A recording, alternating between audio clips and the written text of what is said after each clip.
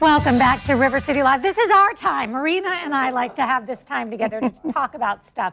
Marina Matthews is back with us from Moosehaven, where, uh, for those who have not had the pleasure of meeting you yet, tell everybody what Moosehaven is. It's an awesome place. Moosehaven uh, is a retirement community that serves exclusively the Loyal Order of Moose. Uh, seniors that are 65 and older can make application. Right now we have uh, 307 residents on our beautiful 73 acre campus. So I have a friend whose mom is there now and she is having the time of her life.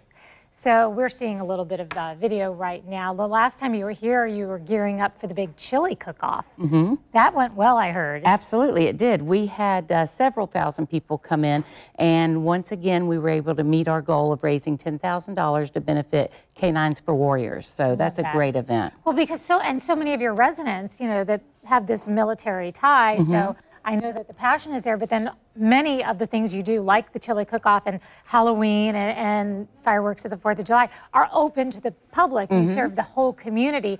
And that's what you do with your Silver Tsunami events. And the, the one that's coming up right now sounds like the perfect day out? Uh, the Silver Tsunami is next Tuesday, the uh -huh. 17th. You do have to register to attend, and it is our sip and shop. Every year at the end of the year, we offer arts and crafts that are created by our residents, and we have some wonderful craftsmen. Um, and we offer them uh, to be able to purchase, and we do free gift wrapping. We have wine to sip on, and we have lots of great. Uh, um, finger food. So we feed you, we let you shop, and then we uh, welcome you to Moosehaven. But it is the kind of event you do need to RSVP for. Yes. You saw the invitation just a moment ago, but at the end of this segment, we'll, de we'll, definitely tell you one more time where to go to get more information on that. And while your calendar is out and you're marking the date for the Silver Tsunami, which one more time is coming up on March 17th. March 17th. Uh, listen to me, March. March. It's uh, December 17th. Wait, so December 17th, yes, that, that would I've be the date. March on Tuesday. with the... Yep, you do, because we're asking you to save the date, and I can prove that. It says March right here. Save the date in March for the Golf Invitational. Absolutely. This is the one event all year that Moosehaven does that actually raises money for us. Okay. So it is a uh, invitational on March 2nd. We will be golfing at Eagle Harbor in Fleming Island, and you do have to register. Registration is open on our website. Okay, so golf tournament's always a good time. And I'm sure you have some avid golfers in your community, but it's open to the public. Absolutely. We have folks coming from all over the United States to participate.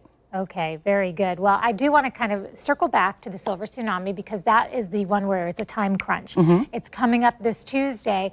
This is the kind of thing, Marina, that I would think if you have, you know, parents or family members that are looking, eh, you know, you invite mom and, you know, the men can come too and say, let's go do this sip and shop. And, you know, there's coffee, hot chocolate, a buffet. You'll be tasting wine and shopping for crafts and mm -hmm. gifts. And it's, it's that kind of event. But you're you're kind of breaking the ice there a little bit. Absolutely. somebody to Moosehaven so they can just see how glorious it is right there on the river. It's, mm -hmm. it's pretty great. So where can people go for more information? They can go to our website, which is www.moosehaven.org. So simple. Mark?